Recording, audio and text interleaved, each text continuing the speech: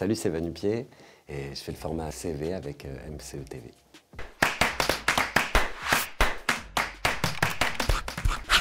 Vanupier, voilà, je m'appelle Vanupier. C'est un nom que j'ai trouvé quand j'étais petit parce que j'aimais bien marcher à pieds nus sur la route euh, la nuit pendant qu'il n'y avait pas de voiture. Et donc euh, j'ai récupéré ce nom-là de cette époque.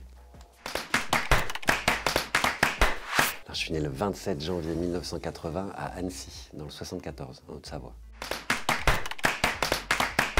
Alors j'ai aucun diplôme, j'ai fait un bac euh, littéraire. J'ai été jusqu'au bac, mais j'ai pas eu le bac, j'ai pas eu le BEPC non plus, c'était comme ça qu'on appelait le brevet des collèges à l'époque.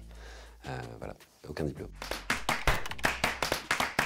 J'allais assez souvent euh, avec ma guitare à l'école, et j'avais pas le droit d'y aller à l'école avec mes parents, n'étaient pas trop d'accord.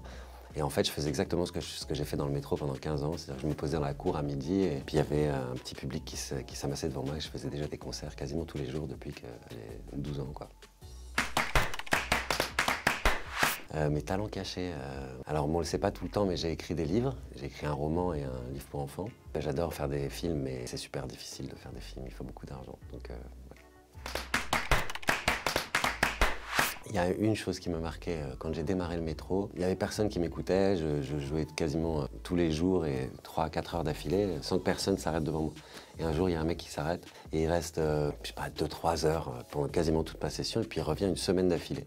Et à la fin de la semaine, il arrive vers moi et il me dit Est-ce que tu peux me faire un autographe, s'il te plaît? Et je lui dis bah, Moi, je ne suis pas connu, ça va te servir à rien d'autographe. Et il me dit moi je, moi, je te connais. Et ça m'a marqué cette phrase-là. Le mec, je l'ai plus jamais revu. Je l'ai recroisé il y a, je sais pas, 2-3 ans. En fait, c'est un écrivain brillantissime qui est aujourd'hui quelqu'un de très connu.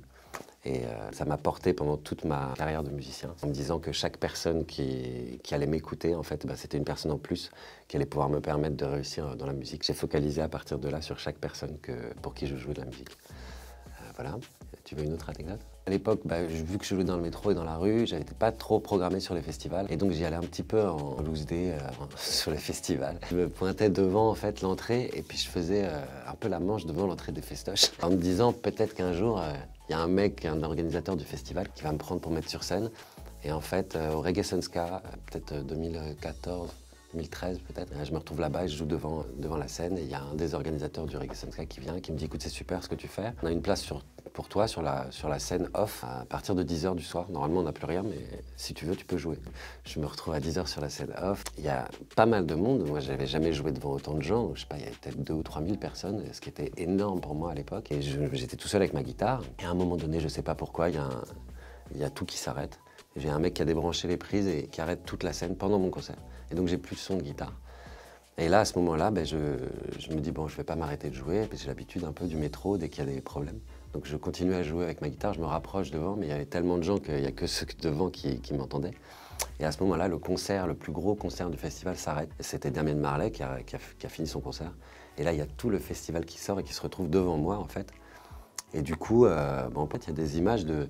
Les gens, ils se sont tous montés les uns sur les autres les filles euh, sur les épaules de leur mec et tout pour se rapprocher de moi pour pouvoir entendre la musique. J'ai joué comme ça pendant au moins une demi-heure, juste guitare-voix, sans ampli, sans rien. Et c'était incroyable. J'ai un souvenir de cette, euh, cette histoire euh, magnifique. Première fois que j'ai travaillé, j'avais 11 ans, je voulais m'acheter un disque et c'était le disque de Bob Marley, Legend. Euh, j'avais kiffé sur la pochette. Et ma mère me dit, si tu le veux, tu te le payes. Et donc on avait un peu d'argent de poche quand on travaillait bien à l'école et puis j'avais pas assez d'argent de poche. Donc il a fallu que j'aille travailler dans un champ euh, chez une de mes tantes qui a des champs de fruits rouges. Et du coup je suis allé ramasser des fruits pendant 4 jours pour acheter mon CD. Puis mes parents avaient ce, truc-là. Pour se payer nos trucs, il fallait qu'on bosse. Donc euh, à partir de 15-16 ans, j'ai bossé dans des restos, McDo, Pizzaiolo, livreur de pizza. Et puis j'ai travaillé dans la publicité de mes 19 ans à peu près, l'année où j'ai loupé mon bac, en tant qu'assistant dans une grosse agence à Paris. Ça serait très bien passé pour moi, j'ai monté les échelons très très vite et j'ai travaillé jusqu'à mes 26, 27 ans dans la, dans la pub, dans des grosses agences. Et euh, comme ça, un peu du jour au lendemain, je me suis arrêté euh, parce que j'avais envie de profiter de la vie, de voir des choses différentes tous les jours, rencontrer des gens. C'était un bon moyen, la musique, pour faire ça. Tout ce qui est sympa, ça me plaît. Boire des coups, euh, faire du sport, euh, faire la teuf, euh, danser. vraiment. Dès qu'il y a possibilité de passer un moment avec des gens, je le fais. Maintenant, c'est vrai que la musique, surtout en autoprod, ça demande un boulot de malade. Moi, j'ai un label, je produis d'autres artistes et tout. J'ai pas vraiment de jours de repos. Par contre, j'ai un petit garçon depuis 4 ans maintenant. Dès que je peux prendre 2-3 jours, je prends 2-3 jours avec mon fils pour pour faire des trucs avec lui. Donc c'est vrai que j'ai des hobbies assez limités.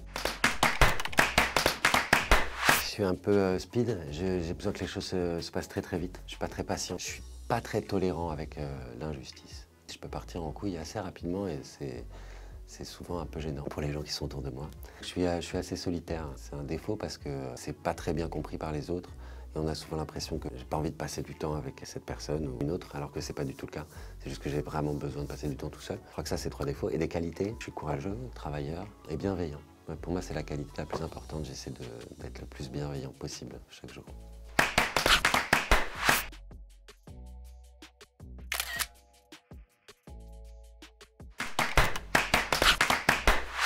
Ça fait euh, maintenant 4 ans que je travaille sur mon troisième album. Je mets très très longtemps à travailler euh, sur mes albums. Il sort là à la fin du mois, le 26 mai. Il y a 10 chansons dessus. Je suis très content parce que j'ai pu avoir un featuring avec euh, Mylan. J'ai pu inviter Mylan, qui est une chanteuse exceptionnelle que j'adore depuis des années, sur un des morceaux qui s'appelle Dumbo.